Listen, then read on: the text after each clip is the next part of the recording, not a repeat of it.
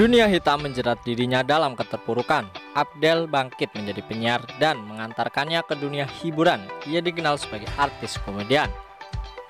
Assalamualaikum warahmatullahi wabarakatuh Selamat datang kembali di channel Tul Jalil Ken ya, Pada video kali ini saya menggambarkan sosok komedian Yakni Abdel Achrian Abdel Achrian namun sebelum lanjut, apabila teman-teman suka dengan video menggambar seperti ini, maka jangan suka untuk memberikan jempol like karena satu like dari teman-teman akan memberikan manfaat besar bagi pertemuan channel ini. Dan share juga ke media sosial kalian agar teman-teman kalian tahu apa yang kamu tahu jika video ini bermanfaat untuk kamu. Dan jika teman-teman ingin subscribe, silahkan klik tombol subscribe dan jangan lupa aktifkan juga tombol loncengnya agar kalian tidak ketinggalan video terbaru dari channel ini. Oke, lanjut.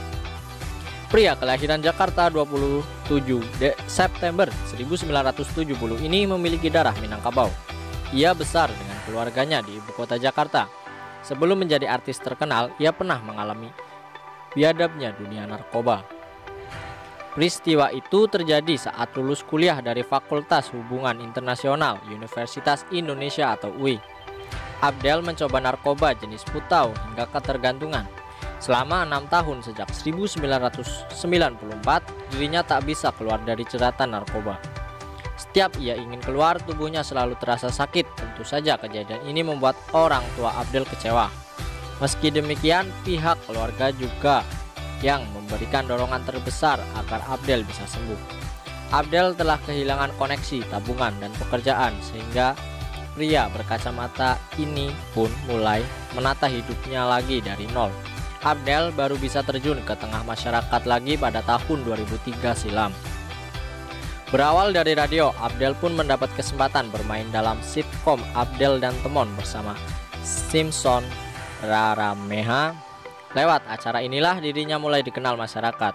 Serial komedian tersebut laris manis di pasaran, bahkan sampai dibuat beberapa sequelnya. Sequelnya apaan ya? Schedule kali ya?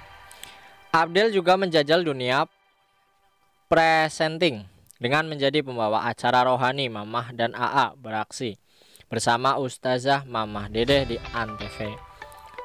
Antv. Di Indosiar juga ya. Duetnya dengan Ustazah yang mempunyai gaya tertawa unik ini pun terus berlanjut. Di acara berikutnya bertajuk Hati ke Hati bersama Mamah Dedeh. Selain itu, Abdel juga sempat bermain dalam sinetron Tukang Bubur Naik Haji. Bukan Tukang Haji Naik Bubur. The Series sebagai Nela, ne, nela, Nelan, Nelan, Nelan.